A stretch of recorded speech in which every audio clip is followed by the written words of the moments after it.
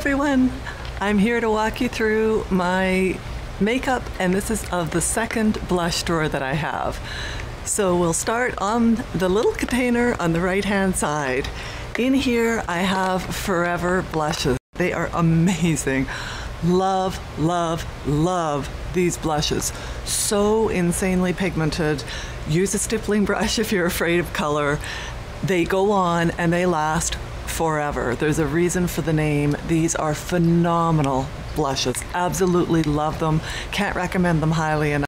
Maybelline Master Highlight. I know I'm going to get kicked off YouTube one of these days for differing with everybody else. These are just okay. I have Coral and Pink Rose. I use them over top of a blush. They seem to accentuate my pores. They kind of look patchy. I'm not thrilled with them. I would not repurchase and I don't recommend them. The final thing I have in this drawer is two hard candy trios. I love hard candy and these are no exception.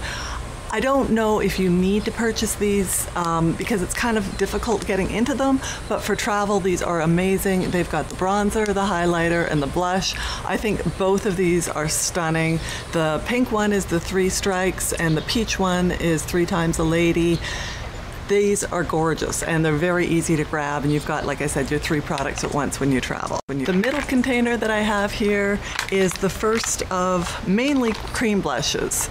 So I have, uh, let's see, one, two, three, four, five of the NYX cream blushes.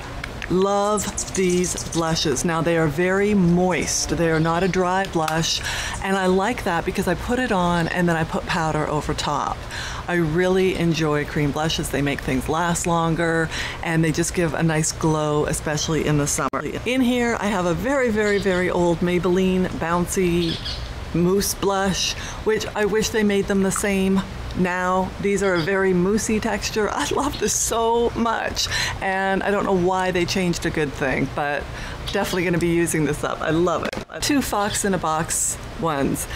I really enjoy the hard candy products and these are no exception.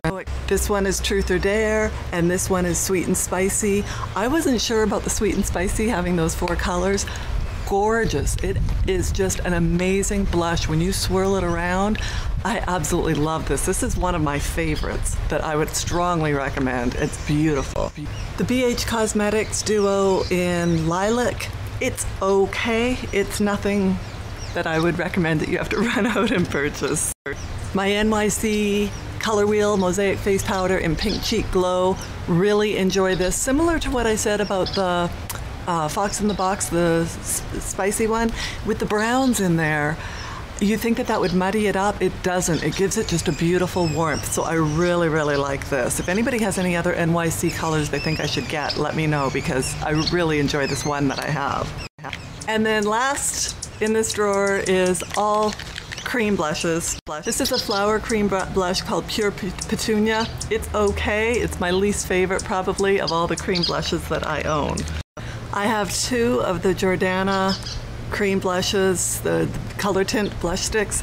I really like these. These are very nice. They are amazing for the price.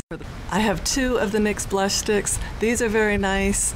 Um, what I like about sticks is you can put it on in the car or, you know, out when you're out at work and just kind of use your fingers to spread it out. It's more convenient than having a pot of the cream that you have to use a stippling brush in. Um, I think the Wetter ones, though, do a better job of lasting for me and making the powder on top last. Then I have three of the Master Glaze blush sticks. These are very nice. They are drier. They go from a stiff cream to a powder very quickly. Finally, my two favorite cream blushes are these huge e.l.f. cream blushes. I will never go through these in my lifetime. I'm gonna give it a good try. Absolutely love these. They last forever. Great pigmentation.